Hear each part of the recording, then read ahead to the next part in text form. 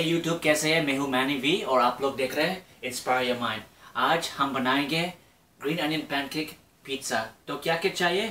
पहले से ये अनियन पैनकेक चाहिए एक, और थोड़ा सा मशरूम प्याज, टमाटर स्प्रिंग अनियन और थोड़ी सी चीज़ तो पहले क्या करेंगे हम इस पैन को थोड़ा सा गर्म करेंगे। थोड़ा तेल डाल के एक चम्मच चलेगा। ऐसा कुछ डालना है। और ऊपर से हम इसको गर्म करेंगे पहले से। तो जैसे गर्म हो जाए, हम थोड़ा सा प्याज डालेंगे। ऐसा। तो उसको थोड़ा सा कड़क करेंगे जब तक नासी रंग आ जाए। तो ऐसे थोड़ा सा घुमाएँगे।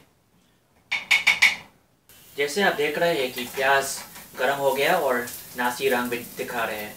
तो ऊपर से हम डालेंगे ये मशरूम्स तो मशरूम को ऐसे घुमाएँगे, जब तक कड़क हो जाए और उसका रंग भी नासी लग जाए। अभी तो मशरूम बन गया है और कड़क हो गया है। तो ऊपर से हम डालेंगे कुछ टमाटर, ऐसे कुछ डालेंगे और कुछ मिनटों के लिए हम घुमाएँगे इस तरह से। और टमाटर को इतना कुछ ना पकाना है, खाली थोड़ा सा गर्म करना है तो ऐसे ही रखेंगे, एक मिनट के लिए। जैसे आप लोग देख रहे हैं सब लोग बन गए हैं तो हम ऐसे बंद करेंगे पैन को और डालेंगे इस प्लेट में। तो ये सब्ज़ियाँ जो है, सब बन गया। हम बनाएँगे अभी वो बेस तो ऊपर से हम थोड़ा सा तेल डालेंगे। आधा चम्मच। ऐसा कुछ। और ऊपर से बेस डालेंगे।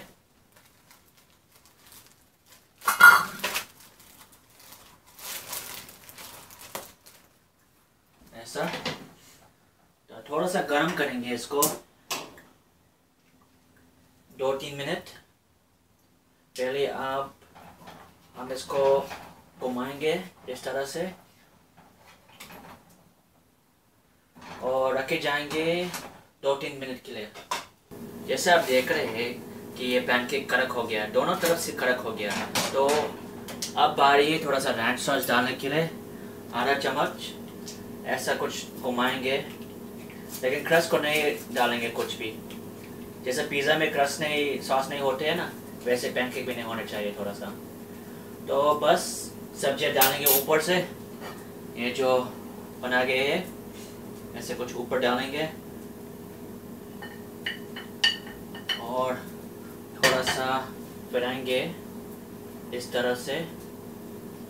और ऊपर से हम डालेंगे ये स्प्रिंग अनियंस ऐसा कुछ। और थोड़ी सी चीज़ ऊपर से। और इसका रखेंगे कम से कम एक मिनट। एक्शन पिज़्ज़ा जब बन गया तो हम इसको डालेंगे प्लेट के ऊपर। टुकड़े तो ऐसे कटेंगे इस तरह से। और एक और बार। तो पिज़्ज़ा तो बन गया तो शुक्रिया देखने के लिए। ग्रीन अनियन पैनकेक तब तक के लिए शुक्रिया और अलविदा।